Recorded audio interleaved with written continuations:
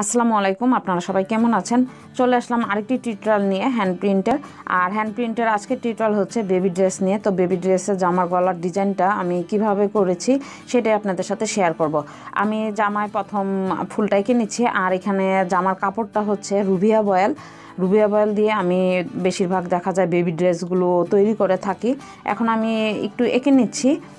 অর্থাৎ যেই ফুলগুলো হবে সেগুলো এঁকে নিয়েছি এবং এদিক দিয়ে আমি কাগজ দিয়ে নিয়েছি। আর এখানে আমি রং হিসাবে ব্যবহার করছি ফেব্রিক অ্যাক্রিক কালার এগুলো হচ্ছে বড়গুলো টিউব আর এই রং নিয়ে যদি আপনাদের কারও কোনো কিছু জানার থাকে, আমার চ্যানেলে রং নিয়ে অনেকগুলো ভিডিও আছে, আশা করি দেখে নেবেন। আর এখন আমি রংটা করে নিচ্ছি। আর তুলি ব্যবহার করছি আমি দুই নম্বর তুলি।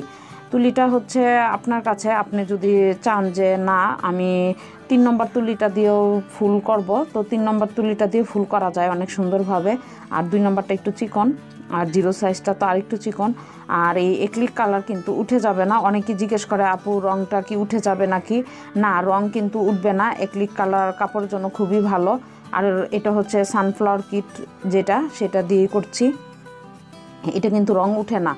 আর হ্যান্ড প্রিন্ট কাপড় আমি প্রত্যেকটা ভিডিওতে বলে দিই হ্যান্ড প্রিন্ট কাপড় একটু যত্ন সহকারে ব্যবহার করতে হয়।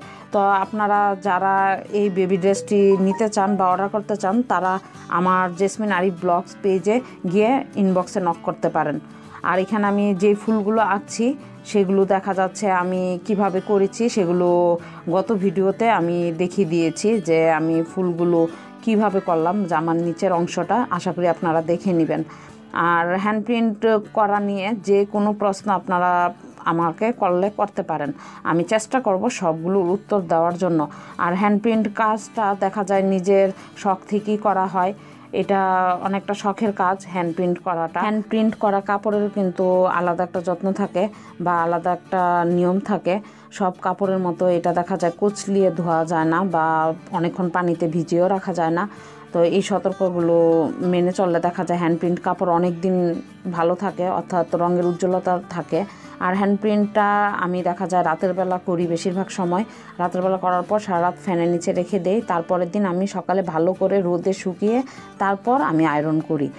আর ভালোভাবে শুকাতে হবে, আর এটা আয়রন করতে হলে আপনাকে প্রথমে দেখা যায় যে উল্টো পিস্টে করতে হবে, অথবা এটা যেটা সোজা অর্থাৎ সোজা ভাঁজ যেদিকে, সেদিকে আপনি আলাদা একটা কাপড় ফেলে তারপর আয়রন করবেন। তাহলে আর রঙের কোনো ক্ষতি হবে না এবং রঙটা নষ্ট হবে না। তাহলে অনেক সুন্দরভাবে এটা আপনি আয়রন করে ব্যবহার করতে পারবেন। আর অনেকে দেখা যায় যে সরাসরি আয়রন করে, তখন কিন্তু রং সরাসরি আয়রনের লেগে যাবে।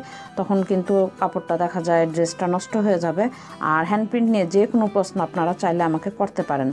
আজ এই পর্যন্তই। খোদা হাফেজ।